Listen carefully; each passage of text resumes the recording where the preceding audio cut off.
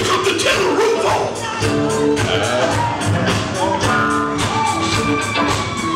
Stay right there, shit.